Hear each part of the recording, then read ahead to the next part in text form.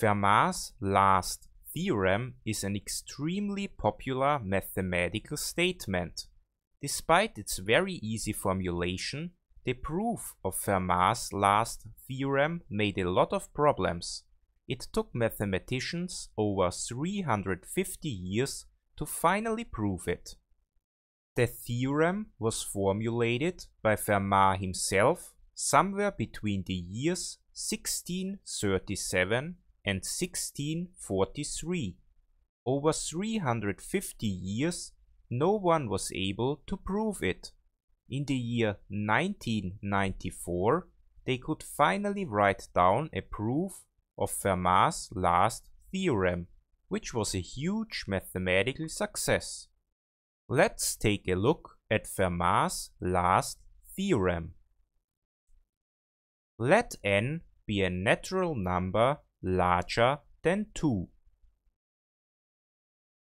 Then there exist no positive integers x, y and z so that x to the power of n plus y to the power of n is equal to z to the power of n. That means for a natural number n larger 2, it is not possible to find positive natural numbers x, y and z so that this equation here x to the power of n plus y to the power of n is equal to z to the power of n holds true. As you can see, the statement itself isn't too difficult. Even a beginner in mathematics could understand it, but the proof made some problems. As I said before, it took over 350 years to finally prove that statement here.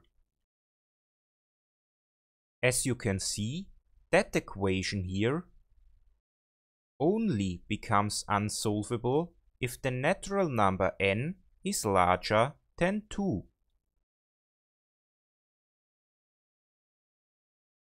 If n is equal to 1 or 2, the equation x to the power of n plus y to the power of n is equal to z to the power of n has positive integer solutions x, y and z.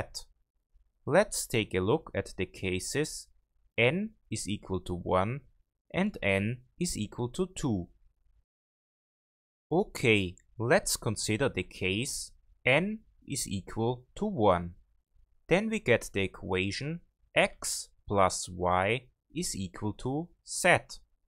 And it is easy to see that there are positive natural numbers x, y and z that solve this equation here. For example, we could set x is equal to 1, y is equal to 2, and z is equal to 3. Then we have found a solution of this equation here, because 1 plus 2 is equal to 3. So the case n is equal to 1 isn't difficult at all.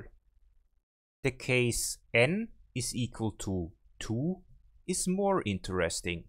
So we are looking for positive integers x, y and z that satisfy that x squared plus y squared is equal to z squared.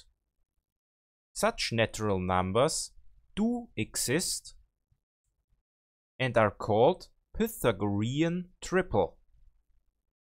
An example of a solution of that equation here would be x is equal to 3, y is equal to 4, and z is equal to 5. Because x squared plus y squared is equal to 3 squared plus 4 squared, which is equal to 9 plus 16, which is equal to 25, which is equal to 5 squared, and this is z squared. So x is equal to 3, y is equal to 4, and z is equal to 5 is a positive integer solution of that equation here. If you need more solutions of that equation here, you can use formulas to find them. So x is equal to a squared minus b squared, y is equal to 2 times a times b, and z is equal to a squared plus b squared. Now for each natural number a, b with a larger b, the numbers x, y and z are a solution of the equation x squared plus y squared is equal to z squared. For example, for a is equal to 2 and b is equal to 1, we get that x is equal to 2 squared minus 1 squared, which is equal to 3.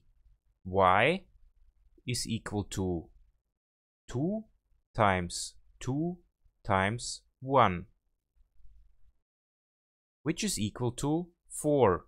And z is equal to 2 squared plus 1 squared, which is equal to 5. We have already shown that x is equal to 3, y is equal to 4, and z is equal to 5 is a solution of the equation.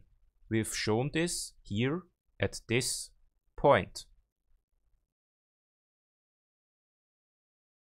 For a is equal to 3 and b is equal to 2, we get that x is equal to 3 squared minus 2 squared, which is equal to 5. y is equal to 2 times 3 times 2, which is equal to 12.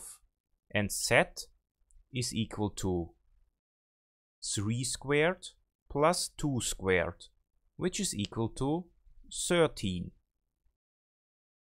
Now we will check if x, y and z are really a solution of that equation here.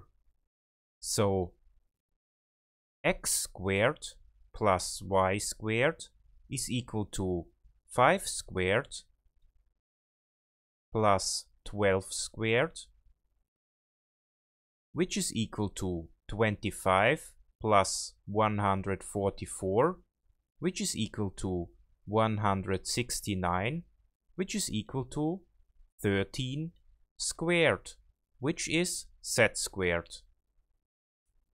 So these numbers x, y and z are really a positive integer solution of that equation here.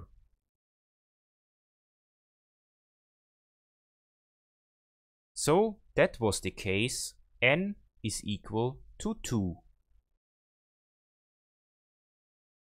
And as I said before, for n larger 2, that equation here has no solution anymore when considering positive natural numbers x, y and z. That is what Fermat's last theorem is telling us. Okay, I hope this video was helpful and you could learn some things about Fermat's last theorem. If you liked this video, please consider subscribing to my channel. That would help and motivate me to keep creating videos.